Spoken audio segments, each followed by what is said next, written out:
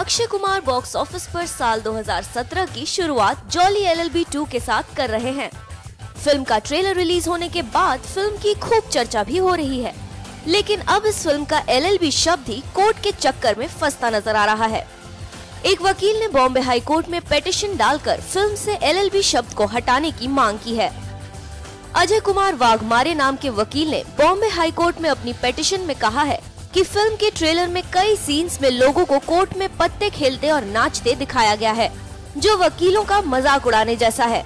इसके साथ ही फ़िल्म पर इंडियन लीगल प्रोफेशन की छवि को जानबूझकर धूमिल करने की कोशिश का भी आरोप लगाया गया है। पेटिशन में फ़िल्म के ट्रेलर को तत्काल प्रभाव से सोशल मीडिया और टीवी चैनलों से हटाने की मांग की गई है। अजय कुमार की पेटिशन पर दो जजों की बेंच 24 जनवरी को सुनवाई करेगी। आपको बता दें कि फ़िल्म जॉली एल एल एक कोर्ट रूम ड्रामा फ़िल्म है, जिसमें अक्षय कुमार लीड रोल में होंगे। फ़िल्म 10 फरवरी को रिलीज़ होनी है, लेकिन 24 जनवरी को अगर फैसला अक्षय के खिलाफ आता है तो अक्षय के लिए मुश्किल हो सकती है।